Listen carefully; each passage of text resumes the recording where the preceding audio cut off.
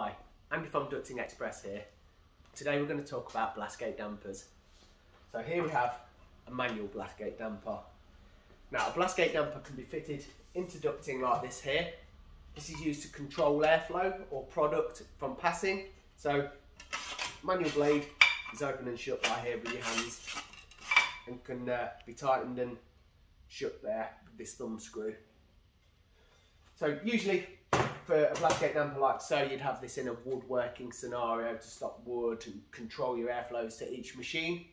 So moving on, we'll go to the pneumatic dampers.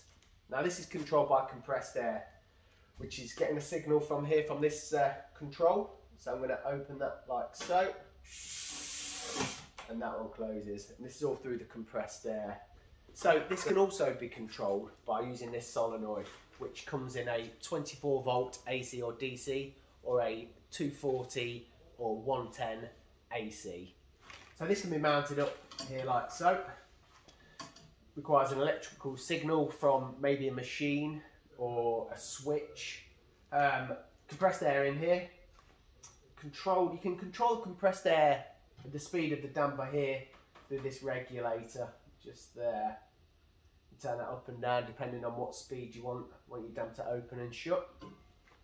So just to surmise the, the difference between a, a pneumatic damper and a manual damper, uh, the advantages and disadvantages are pneumatic dampers can be controlled by a machine, less, less human error there.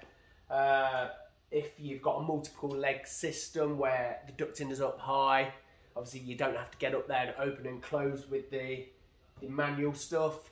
So in, in reality, the pneumatics are probably better to use. If you need any more information on these, just give us a call at Ducting Express.